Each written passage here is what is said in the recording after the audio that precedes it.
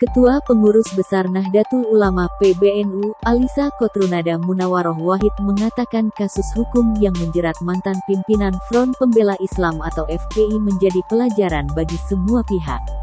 Dilansir dari Kompas.com, saat ini, Rizik Syihab dinyatakan bebas dari tahanan dengan status bersyarat.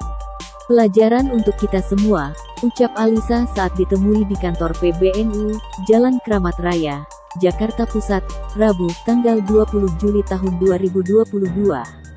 Menurut Alisa, pembebasan Rizik Syihab sudah sesuai dengan proses hukum yang berlaku di Indonesia dengan pertimbangan bersyarat. Untuk itu, dia meminta agar semua pihak menghormati proses hukum karena sudah sesuai dengan aturan yang berlaku. Namun, Putri Abdurrahman Wahid alias Gus Dur ini menekankan agar proses hukum yang terjadi kepada Rizik Syihab tidak dicap sebagai kriminalisasi ulama. Mantan pimpinan Front Pembela Islam FPI, Rizik Syihab dinyatakan bebas bersyarat pada hari ini, Rabu, tanggal 20 Juli tahun 2022. Kendati demikian, Rizik tetap harus menjalani masa percobaan selama dua tahun.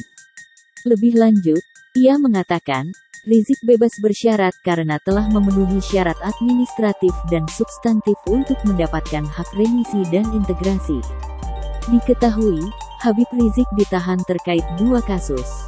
Pertama, Rizik difonis 4 tahun penjara dalam kasus penyiaran berita bohong dan menimbulkan keonaran terkait kasus tes usap RS Umi. Rizik dianggap melanggar dakwaan primer, pasal 14 ayat 1, subsider pasal 14 ayat 2, lebih subsider pasal 15 UU nomor 1 tahun 1946 tentang peraturan hukum pidana Jo pasal 55 ayat 1, pertama KUHP. Majelis Hakim menilai, perbuatan Rizik Syihab dalam kasus tes usap palsu di Rumah Sakit Umi Bogor telah meresahkan masyarakat.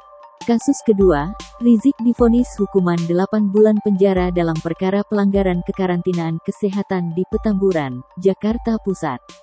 Hakim menilai Rizik terbukti melanggar pasal 93 UU nomor 6 tahun 2018 tentang kekarantinaan kesehatan, yaitu tiap orang wajib mematuhi penyelenggaraan kekarantinaan kesehatan.